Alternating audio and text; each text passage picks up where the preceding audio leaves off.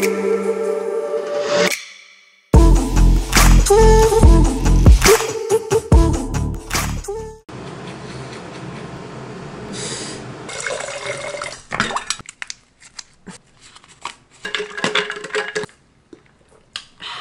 morning, everybody. It is Monday, Monday, August 5th. We're waking up literally at 4 a.m. to go to Trestles. I like to surf in the morning. Not usually this early, but the only reason why is because the place we're going to can get really crowded, especially this week being the US Open. The athletes train, so in order to not get in the athletes' way, we're going at 4 a.m. I think I'm gonna bring a coffee for the road, a plum as well. That's a snack. By the way, I am not complaining though. Even though it's early, I am so grateful and blessed that this is my job. I really do appreciate every single one of you guys. That's literally how I am able to make this happen. Thank you. I literally don't know how I got here without you guys. Okay, so I just got to the Trestles parking lot. I drove for an hour. Now I'm gonna set up my e-bike to bike for another like 15 minutes to get to the surf break. So it's definitely a long journey and I get a lot of questions asking why do you do this? Like, and why do you do it so often? And the short answer is it's summertime in California. Surf break I live at basically has no waves because Catalina Island blocks South Swell and summertime is where South Swell happens. So yeah, basically I'm a meteorologist and the only place that really has predictable waves is basically Trestles, right? If you're wondering what the path looks like to Trestles, it's like this, bruh. So I basically haul my bike on the cement part, but on the dirt part, I literally, I have to drag it. Oh my God, oh my God, oh my God. I have to drag it through this mud.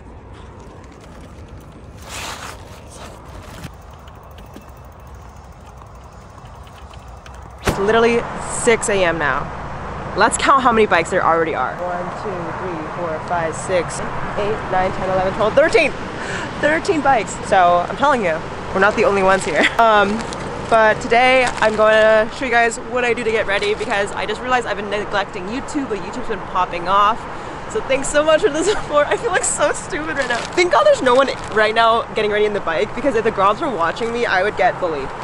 So the first thing I do, I use my Surf Banana, thank you Surf Banana, to put my wetsuit on. Have you used one of these before? I have not. I've used a variation.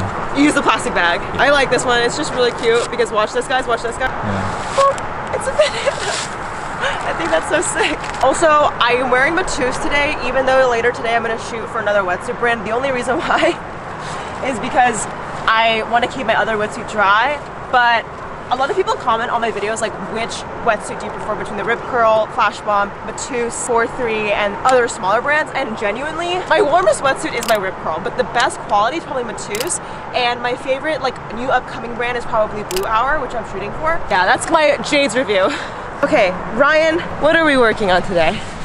Today, using your core and torso and like your head to initiate and like follow through on the turn. And staying really compressed like you want to be able to use your hand when you do your like your wrap. That's enough for today. You know what guys? Yesterday I went to the gym because Ryan says I'm not using my core enough.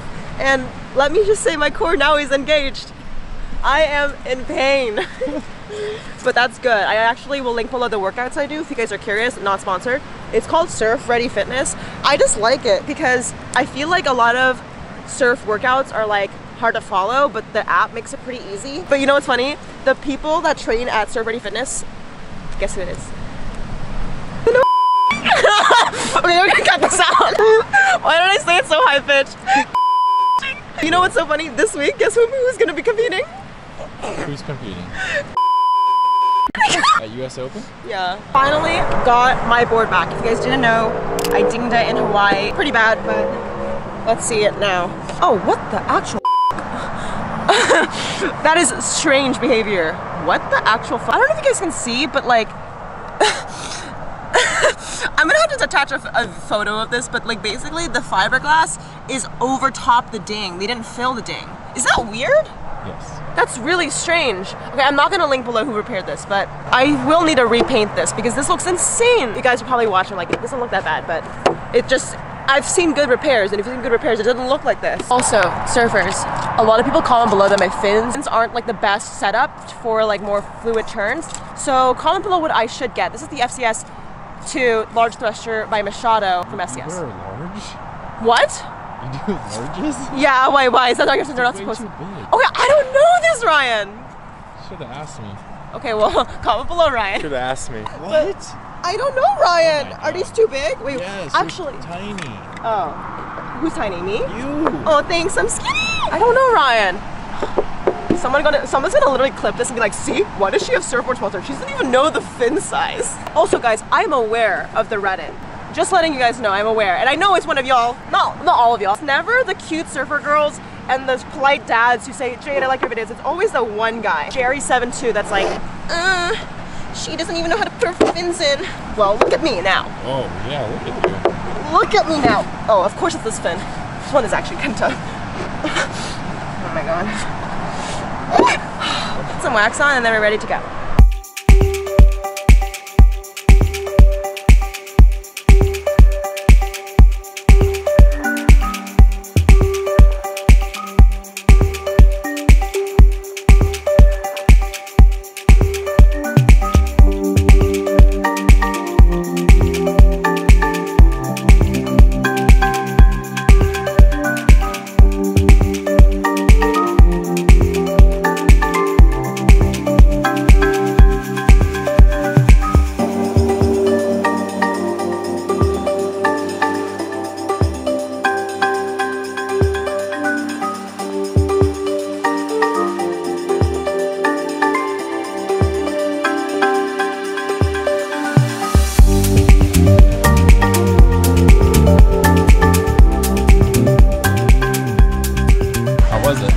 It? Was small but fun.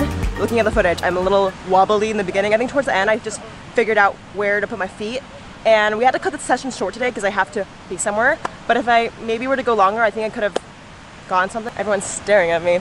Also, guys, I, you know how I said like it's always the Jerrys that like comment mean thing. I met a Jerry in the water. He literally goes up to me, guys. He goes, "Konnichiwa," and I go, "Huh?" He goes, "Are you Japanese?" And I go, "No." And the crazy thing is, we've had this conversation before in the water two months ago. And then he was like, "Yeah, like." You look so like different and exotic. Like, where are you from? Like, Jerry, we literally had this conversation like two months ago. I am not a spectacle at Trestles. So, anyways, I can't believe it's actually real. But, anyways, we're gonna go to the coffee shop and look at the footage. Now at our favorite coffee shop, Zebra House. Also, it's pronounced zebra, not zebra. Fight me in the comments. Because how would you pronounce Debra? Debra, not Debra. this is like, we said this like 20 times at this point. But you, you gotta credit Tr- Trevor Noah. That's it. Sorry, this is not my joke. Usually by this time we do some video analysis. Did I get any good waves? I'm kind of a little nervous actually. I'm a little sad. It was a pretty mid session. I agree though. You did you got it going the second half as usual. As usual, I just didn't we were short on time. time. Usually I serve for two hours, two to three hours. Today we only had like an hour and a half, and usually I get it going by like the last 45 minutes. So uh, that's just how the cookie crumbles. Okay, but the waves today were mid They, too. they were They were mid. the tide was low. This it's just like maybe take a high. He had no speed. Yeah. like- sometimes if you don't have speed, you need to generate the speed Mm. and then do a maneuver. Yeah. All right, so we just finished video analysis at the coffee shop. Now I'm going to a photo shoot with Bluhour, which is a which is a surfwear brand. I kind of need to poop. Ah, this is the worst thing is when you have to do something and you need to go to the bathroom. Like that's the worst feeling. But I literally have to leave now, or else I'm not gonna make the shoot. So I'm kind of in a predicament. Ah, I really need to go to the bathroom, but my shoot is in 10 minutes. So sometimes we don't have the luxury to go to the bathroom. The weather is fantastic today. I'm changing into my first look for a Bluhour. This always happens to me. I have issues going to the bathroom, but the most inconvenient times is when I need to go. Like this is this is the story of my life. A lot of you guys ask, well not a lot, but I've seen comments of you guys asking my makeup routine. Okay, so first I wash my hands with this wet wipe and I'm gonna apply sunscreen because we're shooting in the sun. Using the Dune Sun Care sunscreen. It's really nice because it's not sticky. I basically use this foundation as my concealer and I just put it like this and I literally just tap it onto the blemishes I want to cover up I have this brush. It's kind of dirty, fine. Uh, I'm gonna use this blush to blend it out. Next step is Nudestix blush. I really need to get going. I should not be filming this right now. I'm gonna kick this up a notch. Uh, I really like this blush because it blends so quick and I think it looks really natural in photos. Oh, brows, I just do a quick little flick right here. I really just only do the bottom of my brows because I feel like the rest of my brows are kind of full. You just kind of comb it through. If you ever see me out and about and you're wondering what I'm wearing, this is what I'm using. It looks really crazy, but then you blend it out. I don't have time for eyeshadow, so we're just gonna go as is. Maybe put some mascara, but let's go.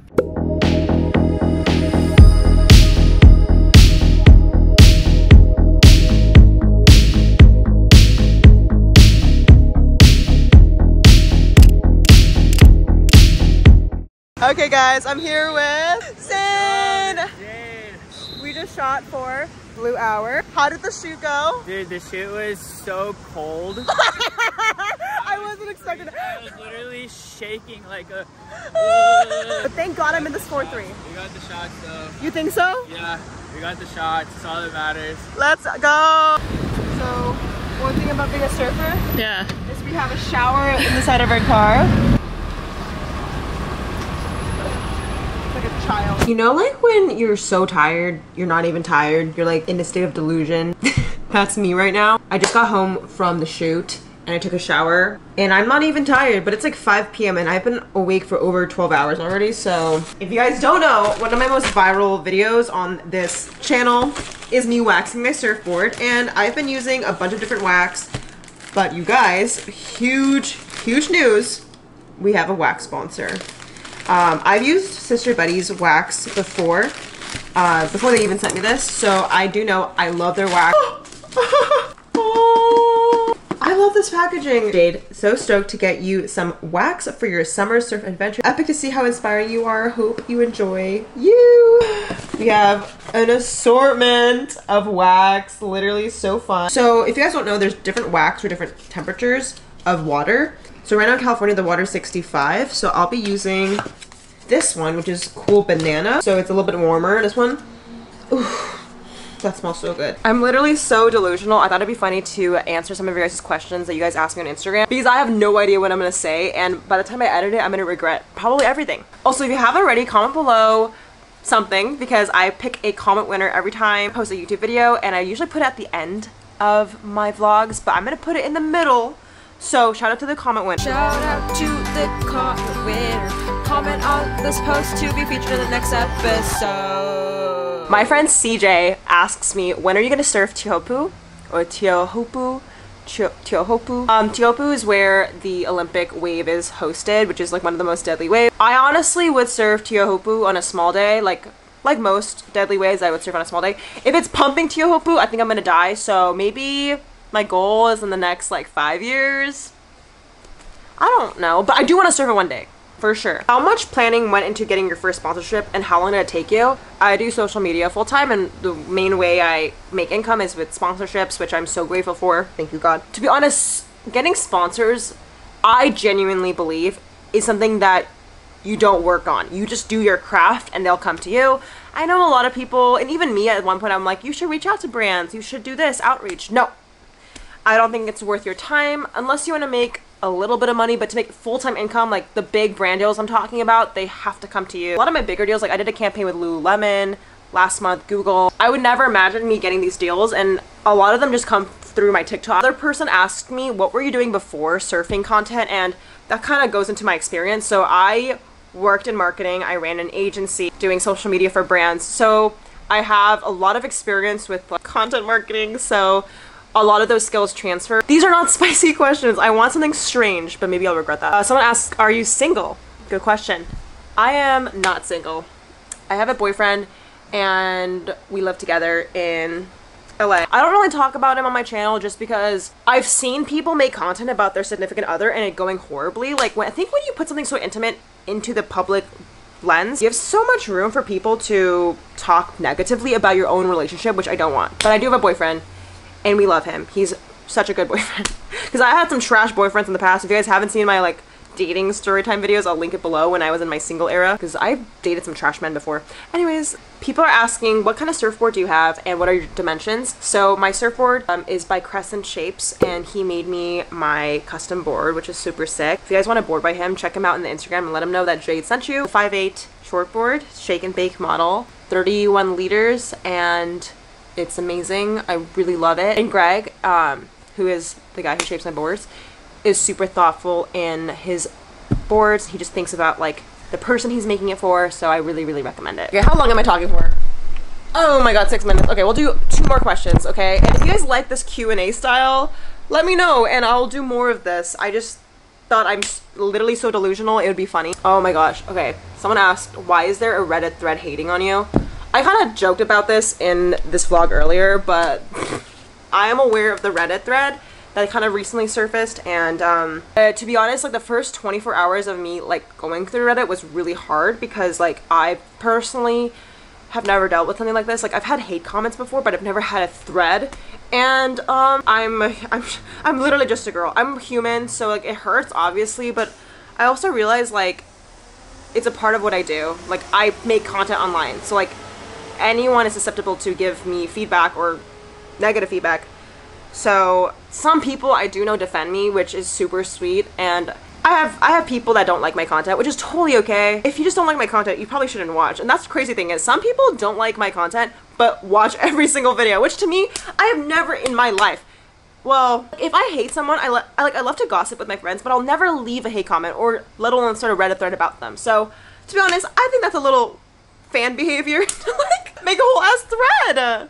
Like Get off my dick. Okay, last question. How long did it take to switch to shortboarding and which one do you prefer? This is gonna be Spicy Jade coming out, but I personally just don't like longboarding. me saying that right behind my old longboard. I'm sorry, I'm just gonna be honest, I don't like longboarding for me, personally. I think if other people do it, it's sick, but for me, I'm just like, I look stupid as hell.